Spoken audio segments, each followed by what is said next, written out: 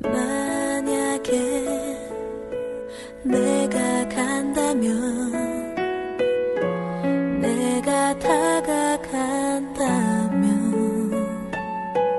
넌 어떻게 생각할까?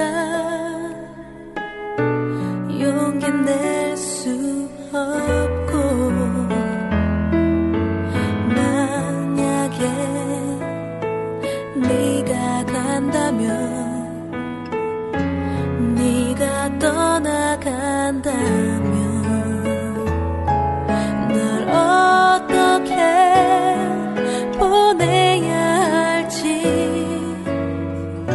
자꾸 겁이 나는